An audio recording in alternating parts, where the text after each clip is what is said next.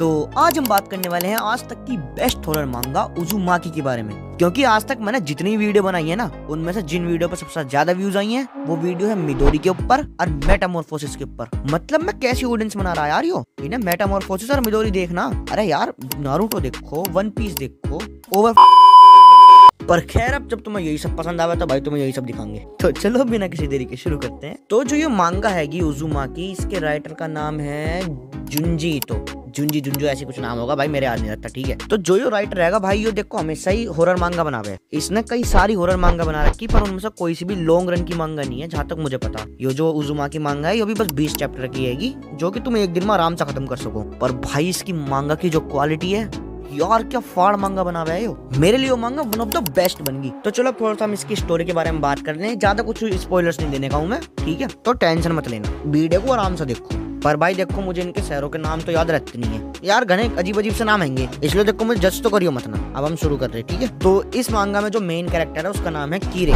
और इसके बॉयफ्रेंड का नाम है सुनीची। और हम इस पूरी मांगा में इनकी स्टोरी को फॉलो करें कि ये एक ऐसे शहर में रहे जो की हॉन्टेड है स्पायरल्स से। और हाँ स्पायरल्स को जैपनीज में उजुमा की कहना कहीं से तुम नारुतो से को रिलेट कर दो। तो देखो, जो ये स्पायरल्स हैंगे, जो पूरे शहर को हॉन्ट कर रहे हैं, वे यहाँ के लोगों को भी अफेक्ट करें। जिस वजह से हमें काफ़ी अजीब अजीब से इंसिडेंट्स देखने को मिले जिसमें से कुछ तो बहुत ज़्यादा डिस्टर्बिंग से भी होंगे स्पेशली वो हॉस्पिटल वाली आर्क जब तुम पढ़ोगे, तब तुम्हें समझ आ जाएगी किस बारे में बात कर रहा हूँ तो इस पूरी मांगा की जो बेसिक स्टोरी है, वो यही है कि हमारे जो मेन कैरेक्टर्स हैं कीरे और सुनीची वे इस स्पाइरल के माया जाल से बच के कैसे अपनी नॉर्मल लाइफ शुरू कर पाएँगे? मतलब इस शहर से कैसे बच के जा पाएँगे? और ज़्यादा मैं तो मैं इसकी स्टोरी बताने नहीं चाहता, क्योंकि यार इसकी स्टोरी बहुत बढ़िया है।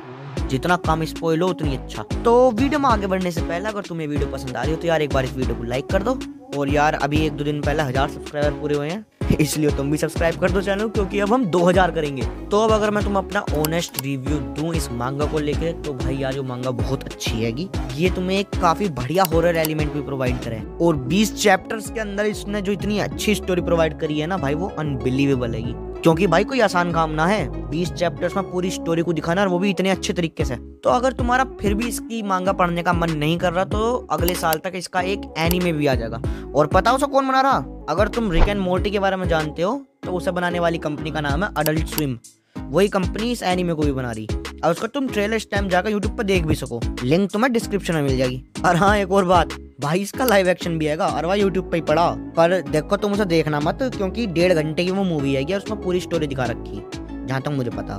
तो तुम्हें पता कि इन्होंने बहुत सारे सीन्स मांगा के काट दिए होंगे इंपॉर्टेंट इंपॉर्टेंट और ये जो मांगा आएगी ना, ये सन 2000 में आई थी, और उसी साल इसकी जो लाइव एक्शन मूवी भी आई थी। पर अगर तुम्हारा फिर भी मन करा इसे लाइव एक्शन को देखने का तो तुम्हें रोकने वाला मैं होता कौन देखो जाकर मज़े करो, और तुम मुझे कमेंट सेक्शन में बताना कि तुम्हें वीडियो कैसी लगी।